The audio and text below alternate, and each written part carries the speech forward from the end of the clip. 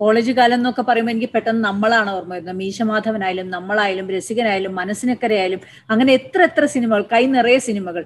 അതിനോടൊപ്പം തന്നെ വലിയൊരു ഭാരിച്ച ഉത്തരവാദിത്വം ചെയ്തിട്ടുണ്ട് കാസ്റ്റിംഗ് ഡയറക്ടർ എന്ന കോൺസെപ്റ്റ് മലയാളത്തിലേക്ക് കൊണ്ടുവന്നു. എന്തൊക്കെയാണ് അതിന്റെ ഒരു ശരിക്കും കേൾക്കുമ്പോൾ തന്നെ അറിയാം. നമുക്ക് അതിലൊരു ചെറിയ ഉത്തരവാദിത്വമല്ല വലിയ ഭീമമായ ഒരു ജോലിയാണത്. അതിനെ എങ്ങനെ എങ്ങനെ നമുക്ക് പ്രേക്ഷകർക്ക് പറഞ്ഞു കൊടുക്കാം? ഈ പറഞ്ഞ നമ്മളും മീശമാധവനും അതെല്ലാം എന്റെയും കോളേജ് സിനിമയിലെ കോളേജ് കാലഘട്ടമായിരുന്നു അത്. അപ്പൊ എന്താണ് സിനിമ? എങ്ങനെയാണ്? ഇതിന്റെ ഒരു കാര്യങ്ങളെല്ലാം ഞാനും പഠിച്ചു വരുന്ന അതിയായ അഭിനിവേശവും ആഗ്രഹവും മൂലം സിനിമയിൽ എത്തിപ്പെട്ട് നമ്മൾ ആ എന്താ പറയുക നമ്മുടെ ശൈശവകാലം എന്ന് പറയുന്ന പോലെ സിനിമയിലെ ശൈശവകാലമാണ്. അതെല്ലാം കുറച്ച് മുന്നോട്ട് പോയി രണ്ടായിരത്തി എട്ടിലാണോ പത്തിലാണോ ഈ തട്ടത്തിൻ മറയത്ത് എന്ന് പറയുന്ന സിനിമ വിനീത് ശ്രീനിവാസിന്റെ ഒപ്പം ആ സിനിമ ആദ്യം അതിൽ അഭിനയിക്കുകയാണ്. അപ്പോ ആ സിനിമയുടെ ലൊക്കേഷൻ ചർച്ചകൾക്കിടയിലാണ് വിനീത് പറയുന്നത്.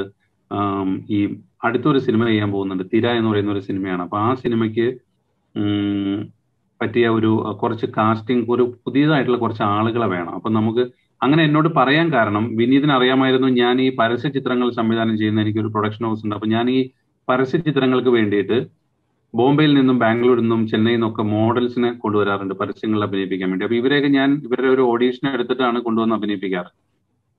അപ്പൊ കാരണം ഇവർ മലയാളം കുറച്ചെങ്കിലും പറയാൻ പറ്റുമോ അവർക്ക് ലിപ്പ് ഫോളോ ചെയ്യാൻ പറ്റുമോ കാരണം നമ്മൾ ഫോട്ടോയിൽ കാണുന്ന ലുക്ക് തന്നെയാണോ നേരിട്ട് കാണാം ഇങ്ങനെയുള്ള കാര്യങ്ങൾ അറിയാൻ വേണ്ടിയിട്ട് നമ്മൾ ചിലപ്പോൾ ബോംബെയിൽ പോയിട്ട് ഓഡീഷൻ ഒക്കെ എടുക്കാറുണ്ട് അപ്പൊ ഈ ഞാനിങ്ങനെ ബോംബെ പോയി ഡിഫറെന്റ് ക്യാരക്ടേഴ്സിന് ഓഡീഷൻ ചെയ്യുന്ന വിവരം വിനീതിന് അറിയാം എന്റെ തന്നെ ഒരു പരസ്യത്തിനായിട്ട് ഞാൻ കൊണ്ടുവന്ന ഒരു പെൺകുട്ടിയാണ് ഇഷ തൽവാർ ആ ഇഷ തൽവാറിനെയാണ് അങ്ങനെ ഈ ഫസ്റ്റ് ഈ തട്ടത്തിന് മറയത്തിൽ നായികയാക്കുന്നത്. ഞാനൊരു ഇവിടുത്തെ ഒരു കമ്പനിയുടെ പരസ്യത്തിന് വേണ്ടിയിട്ട് ബോംബെയിൽ നിന്ന് കൊണ്ടുവന്ന മോഡലാണ്. അപ്പൊ ഞാനാണ് അത് സജസ്റ്റ് ചെയ്യുന്നതും അങ്ങനെ അപ്പൊ അത് വിനീതിനെ അറിയാം. അപ്പൊ അതുകൊണ്ട് തന്നെ അടുത്ത പടത്തിൽ കുറച്ചും കൂടി വലിയൊരു ടാസ്ക് ആണ് എനിക്ക് ഡിഫറെന്റ് ആയിട്ടുള്ള ഫേസസ് വേണം. അപ്പൊ ദിനേശ് ചേട്ടനെ എനിക്ക് വേണ്ടി കാസ്റ്റിംഗ് ചെയ്തു തരുമെന്ന് വിനീതാണ് എന്നോട് ചോദിക്കുന്നത്.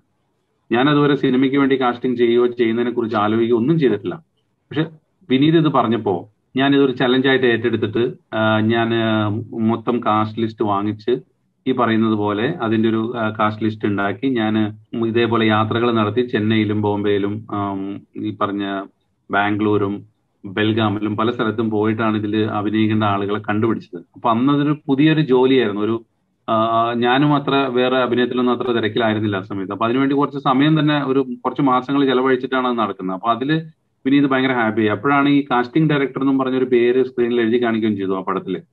അതോടുകൂടി ഒത്തിരി കോളുകൾ വരാൻ തുടങ്ങി. ഞങ്ങൾക്കും ഇങ്ങനെ പുതിയ ആളുകളെ വേണം ഇങ്ങനെ വേണം അങ്ങനെ വേണം എന്നൊക്കെ പറഞ്ഞു അപ്പോഴാണ് എനിക്ക് മനസ്സിലായത് ഇതൊരു ഒട്ടും ഈസി ആയിട്ടുള്ള ഒരു ജോബ് അല്ല ഈ പറഞ്ഞ പോലെ. ഒരു സിനിമയിൽ ഒരു നൂറ് കഥാപാത്രങ്ങൾ ഉണ്ടെങ്കിൽ ഈ നൂറ് കഥാപാത്രങ്ങൾക്ക് നമ്മൾ ഒരു മൂന്ന് ഓപ്ഷനെങ്കിലും കണ്ടുപിടിക്കണം. ഈ മൂന്ന് ഓപ്ഷൻസിൽ നിന്ന് വേണം ഒരാളെ സെലക്ട് ചെയ്യാൻ. ഈ മൂന്ന് പേരെ ഈ ഡയറക്ടറും റൈറ്ററും ആഗ്രഹിക്കുന്ന പോലത്തെ രൂപവും ഭാവവും ലുക്കും ഒക്കെയുള്ള അഭിനയിക്കാൻ കഴിവുള്ള മൂന്ന് പേരെ വെച്ച് ഓരോ കഥാപാത്രം. അപ്പൊ മുന്നൂറ് പേരെ നമ്മൾ കണ്ടുപിടിക്കും ഈ മുന്നൂറ് പേരെ കണ്ടുപിടിക്കണമെങ്കിൽ നമ്മൾ ഒരു മൂവായിരം പേരെങ്കിലും കാണണം. അവരെ ഓഡീഷൻ ചെയ്യണം. അതിനുശേഷം അവരെ ഷോർട്ട് ലിസ്റ്റ് ചെയ്തിട്ട് വേണം ഈ ലിസ്റ്റ് ഡയറക്ടർക്ക് പ്രസന്റ് ചെയ്യാനായിട്ട്. അപ്പൊ ഇതൊരു വലിയൊരു ജോലിയാണ് ശരിക്ക്. അപ്പൊ ഞാൻ നോക്കിയപ്പോൾ എനിക്ക് ഓൾറെഡി ഒരു പരസ്യചിത്ര നിർമ്മാണ കമ്പനിയും ഞാൻ സൈഡിലൂടെ അഭിനയവും ഡബിങ്ങും ഒക്കെ ആയിട്ട് പോകുന്നു. പിന്നെ എനിക്ക് ഇതിന്റെ ഇടയ്ക്ക് അത്രയും സമയം കിട്ടുന്നില്ല. അപ്പൊ ഞാൻ വളരെ ഈ ലുക്കാച്ചുപ്പിയും പിന്നെ ജേക്കബിന്റെ സ്വർഗരാജ്യം വിനീത് തന്നെ വീണ്ടും നിർബന്ധിച്ച് ദുബായിലാണ് ഷൂട്ട് അപ്പൊ കുറെ പലതരം രാജ്യക്കാരെ വേണം. അതിലെല്ലാം ഓരോരോ സീക്വൻസിൽ വന്നു പോകുന്നു. പാകിസ്ഥാനികളാണ് സുഡാനികളുണ്ട്.